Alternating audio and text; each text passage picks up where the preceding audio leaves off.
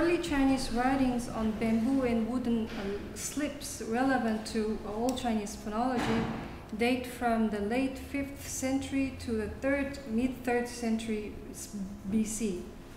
Um, our interest in the Warring States writings as relatively new sources of data for the Old Chinese phonology mainly concerns the component structures of characters in the early Chinese script, which are sometimes different from the received standard. So, for instance, in the Qin orthography, for the word um, wen, meaning here, well known, um, ask, you have the semantic ear and the phonetic door. And in Chu and elsewhere, um, the character has ear and the man as the phonetic. Um, here are some more examples, famous examples. The pre-imperial Qin, Qin regional uh, orthography, which is basically the direct this, um, ancestor of the modern standard uh, orthography, is represented by two different bodies of materials. One is the Qin manuscripts from the Warring States period, and the other is the Qin dynasty's small seal script as recorded in the Shuowen Jiezi 100 CE. Um, the two are in different calligraphic styles. The Qin manuscripts is in what is called the old clerical script, which is quite similar to Han Dynasty's clerical script. And the Qin Dynasty's seal script is closer in style to the uh, mid-Warring States uh, period Chu manuscripts uh, than to the Qin and Han clerical scripts. So the seal script used during the Qin dynasty was a traditional and somewhat archaicized um, calligraphic style that uh, was normally reserved for uh, inscription texts.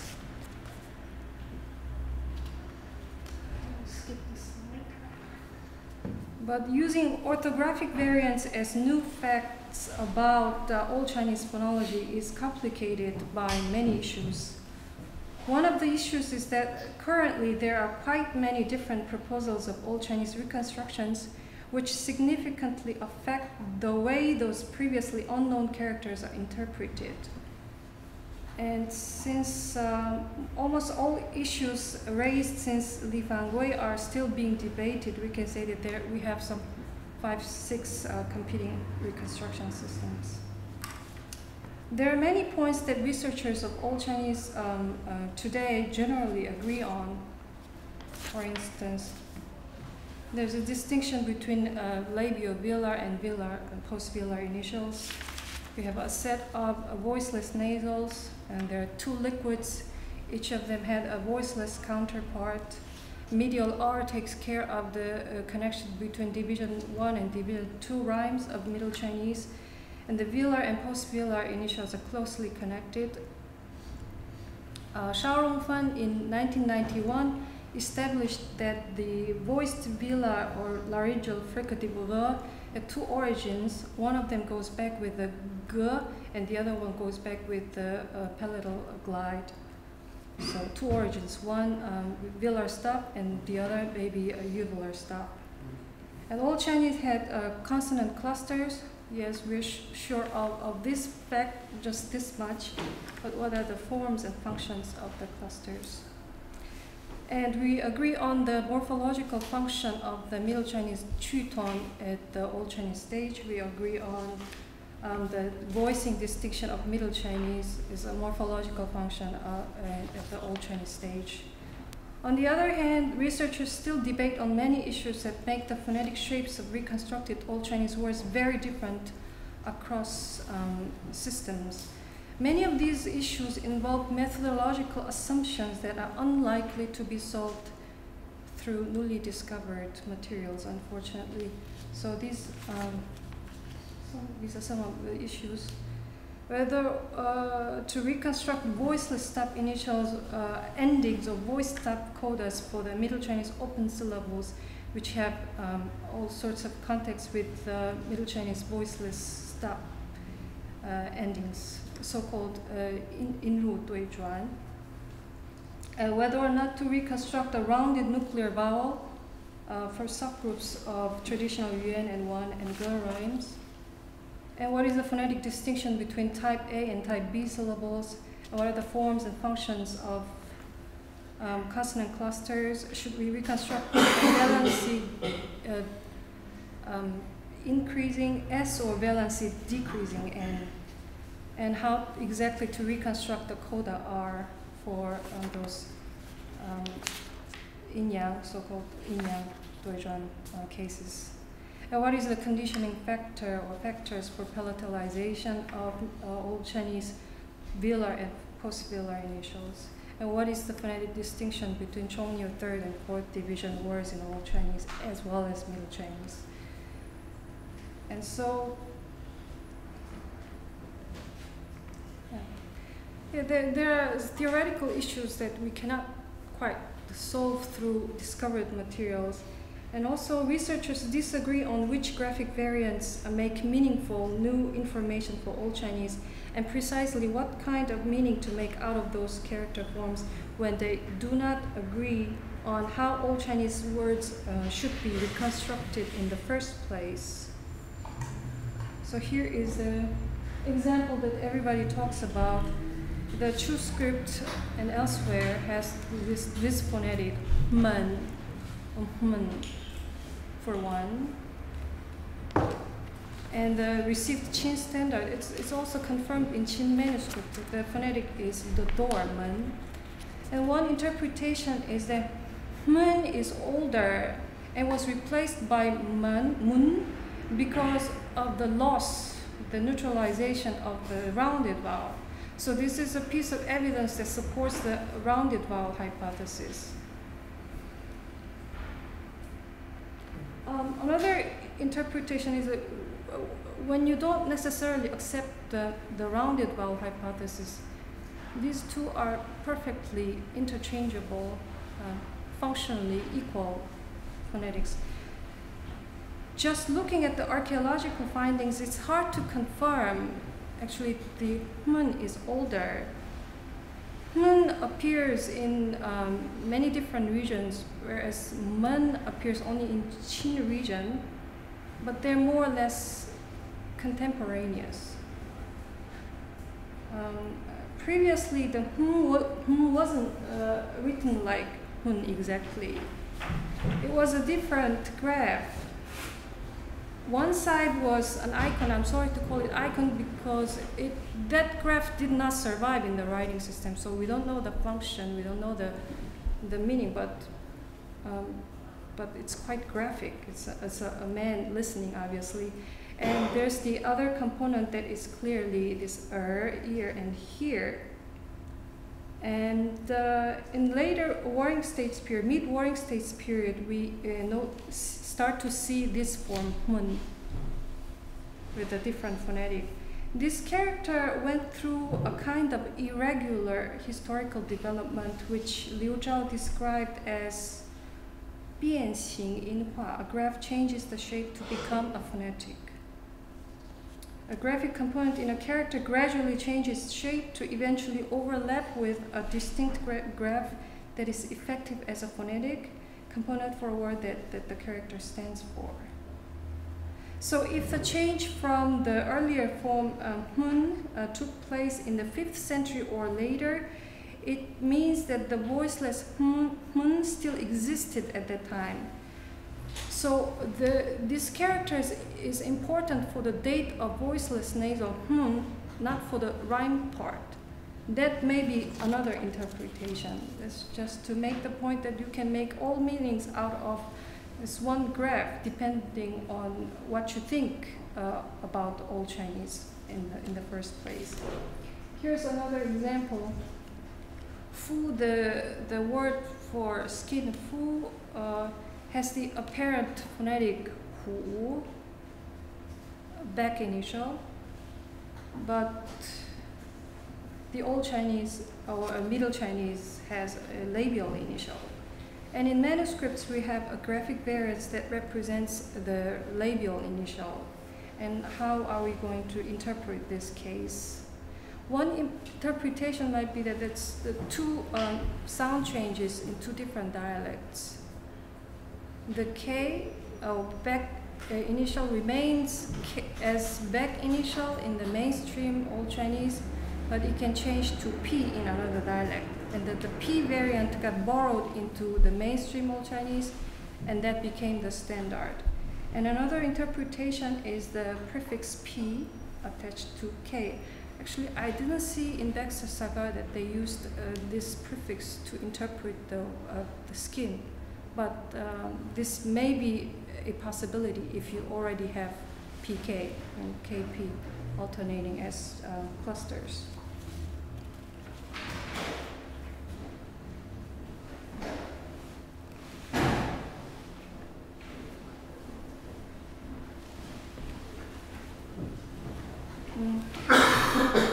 Differences of interpretation influenced by differences in competing Old Chinese systems are further complicated by the fact that researchers have introduced some new methodological assumptions to apply to manuscripts and not to transmitted sources.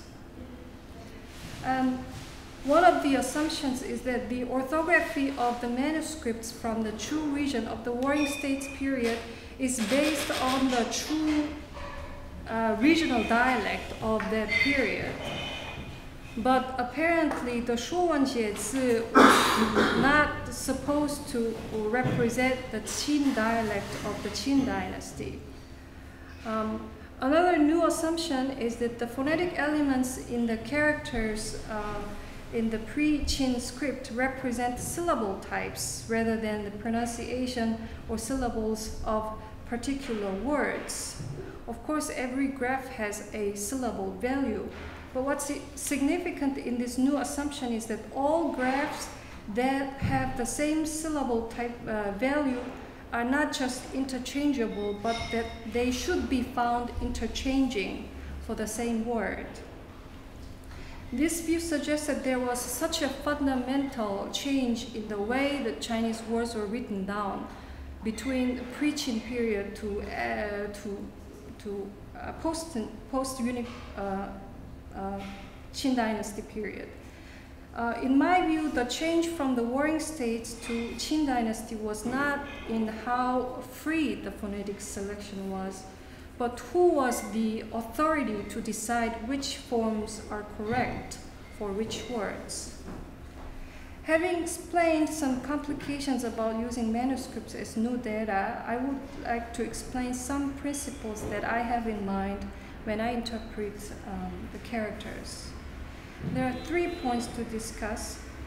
The first concerns the phonological periods and dialects represented by manuscripts, manuscripts and the orthography uh, in them. The second is on the principle of phonetic representation in the Chinese writing system. And the third is on the vowel system of Old Chinese. By the first two, I do not intend to suggest any new principle at all. On the contrary, I would like to reconfirm some, some assumptions that sustained the many Old Chinese reconstruction systems proposed so far. First, um, in any given body of uh, excavated early Chinese writings, we can reasonably expect the following four layers, some four layers of phonological systems. One layer is the mainstream Old Chinese, and the second layer is loanwords borrowed into mainstream Old Chinese. These words pronunciations from different phonological systems, these are words word pronunciations uh, from different systems, phonological systems. But once they are borrowed into the mainstream Old Chinese, they are at the lexical level, not the phonological level. Um, so they may be used as synonyms with, along with their cognates in Old Chinese, or they may uh, displace the original Old Chinese words, mainstream Old Chinese words. And the third and fourth layers are the standard phonology and dialects of the time when the manuscripts were, were copied.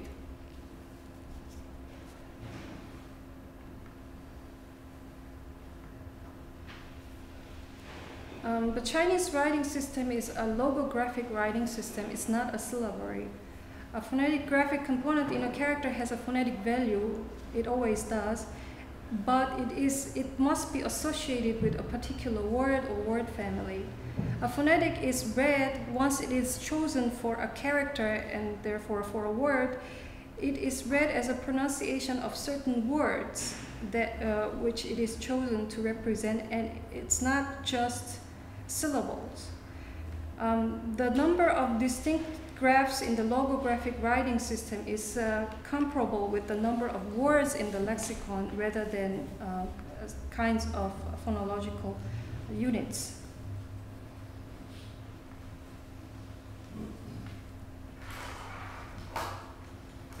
So what does a word mean in, in Chinese? A word means a morpheme. A morpheme may be a root syllable with or without a loosely attached prefix or half a syllable.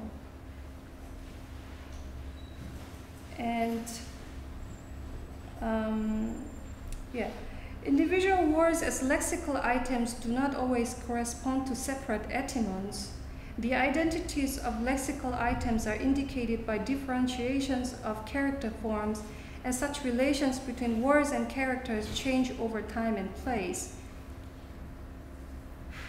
In modern standard Chinese, the word ya, as in meng ya, is distinguished from ya, as in ya chi.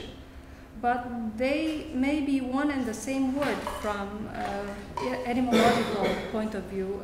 Uh, said that and Guangyun Middle Chinese, we have these three lexical items, chu support, chu branch, and chu limbs. And they are homophonous, che. But from an etymological point of view, they may be one and the same word. And there's another item that is written as duo, many two, and the meaning is many. And it has a second reading as um, che is falling tone.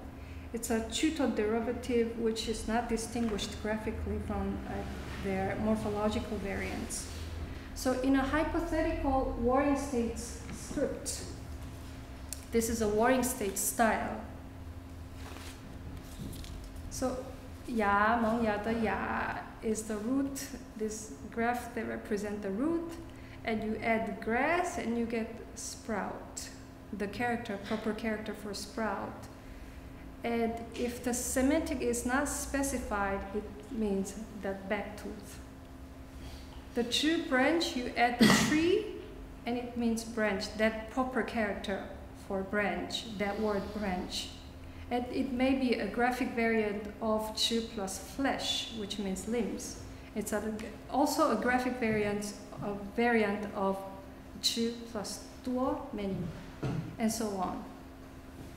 So the selection of a phonetic is uh, phonetic component is arbitrary in the Chinese writing system.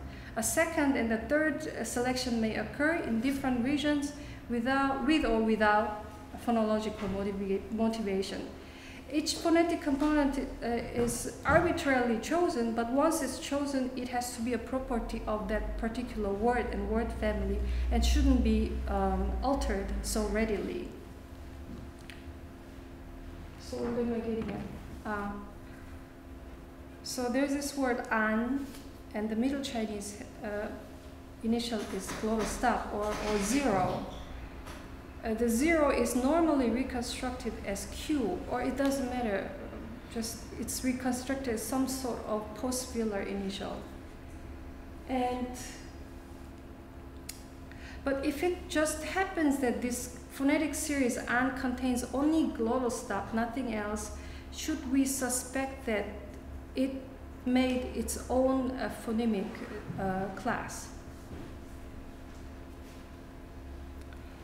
Um, Q and Q, G and K and G can interchange, but the Chinese logographic writing system does not require require uh, these uh, three separate uh, phonemes to actually interchange. And is it important that an is used to transcribe Alexander in the Shizi?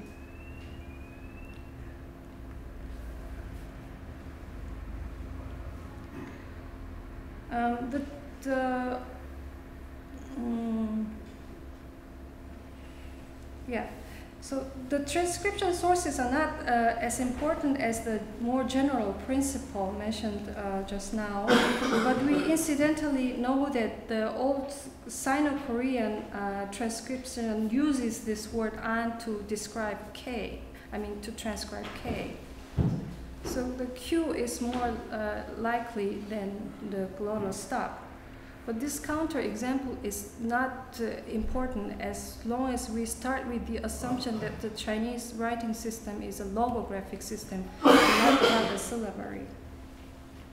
I prefer to reconstruct WA um, for uh, those um, uh, cases suspected as rounded uh, vowels um, because it is difficult to establish the distinction between Kwon and Kwan. Um, we do not, uh, I do not uh, deny the fact that TWV, T, uh, TW vowel and uh, dental ending and T, uh, T vowel and dental ending, uh, the kaikou hekou distinction is strictly um, st strictly uh, observed in um, and, and Rhyme.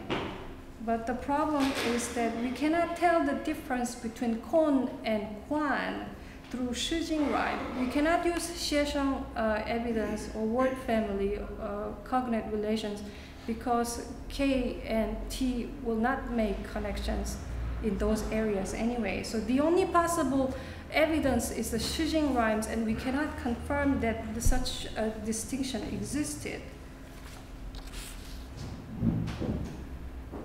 So why do we not see the distinction in the Shijing? We, we may have these uh, explanations. Um, just ambiguous, we don't have enough data. And the change from U to Wa seems to have occurred quite early in some parts of the Shijing and the text was edited in hand times, and there are irregular line, rhymes and so on. But what if the distinction never existed? So this may be an uh, alternative interpretation. Ke, wo, a, an sounds like quan. And it's phonemically quan because ku is natural. So we get the initial ku, ku and an. And Quan will contrast with Kan in Xiesheng series and word family relations. On the other hand, Te Wu An sounds like Tuan and Ton, and phonemically it doesn't matter whether it's uh, analyzed as Ton or Tuan because uh, it won't rhyme with Tan anyway.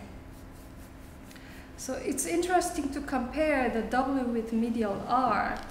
Um, the Old Chinese dental initials followed by medial R becomes retroflex initials in Middle Chinese. In the case of KR, the retroflexion does not occur because ker is not natural. So when the ker does not occur, occur, that R may affect the vocal part more significantly.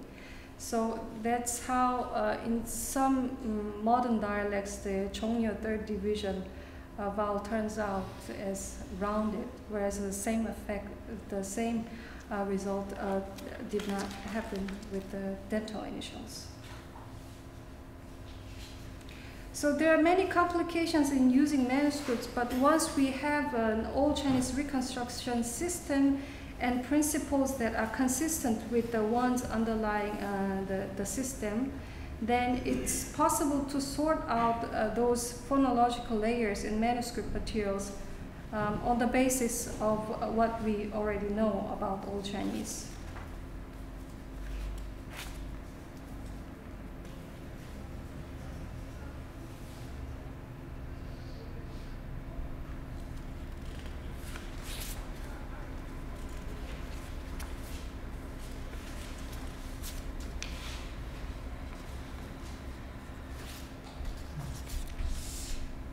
I'm going to suggest that these two uh, phonetics um, originally stood for the same syllable value. And the value was like prar with the R coda. Um, the first graph, ba, mm, uh, is, is identified with the standard ban, ban and there's no uh, significant orthographic difference between this uh, true graph and the received. And is synonymous with bay, also meaning riverbank, slope, and slanting. Bay and ban are synonyms. And in true manuscripts, or also in the seal script, the two phonetics look quite similar. But originally, the B uh, didn't look like ban. Originally, it had two components, as Karlgren identified. It, it had hide and hands, two components that didn't look like B.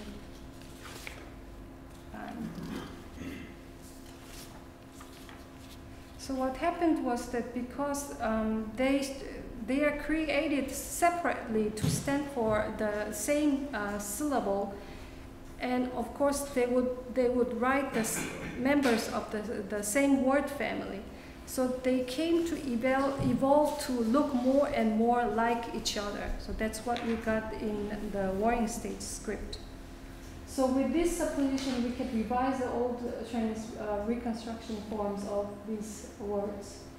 Oh yes baxter and Sagart identified the change from r to i as a, a feature of a shandong qi dialect and Qi dialect had some uh, prestige in, in, the ancient uh, Chinese uh, world. And there's this line, suppose there is a high elite of Chu who wishes his son to speak the Qi language, should he hire a native of Qi to tutor him or a native of Chu to tutor him? so the, on this supposition, we um, revise the reconstruction like this. Bar became Bon and Bon, and Pi became Pi, became Pi, and then they. So at stage one, they were cognates, and at stage two, they were synonyms because one was borrowed uh, into the, the other variety.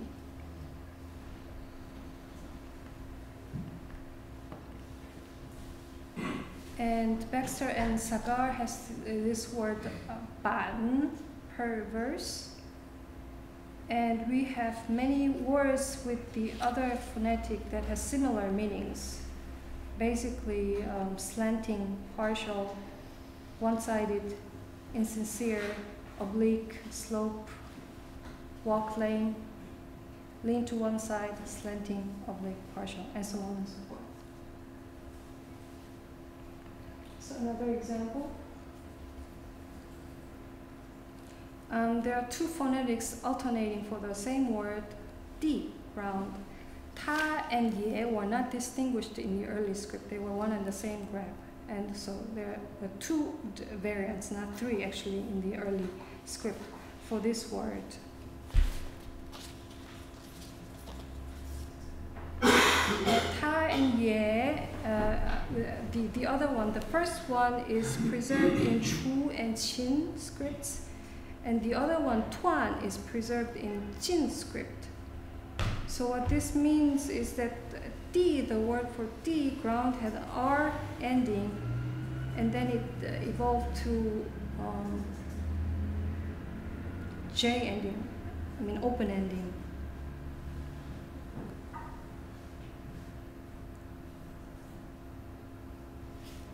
So in this case, the Qi dialect variety got the, borrowed into the mainstream and then it replaced the, the normal one, the uh, mainstream one, which would be NND. so in these two examples, we uh, identify two kinds of dialect variation, the W insertion or deletion, or rounding or unrounding, um, if you use the rounded vowel hypothesis. We don't lose much um, if you choose either, either hypothesis. And an and I uh, came from earlier R. The dialect borrowings in uh, mainstream Old Chinese increased synonyms in the lexicon and influenced graphic evolution. Thank you very much for your attention.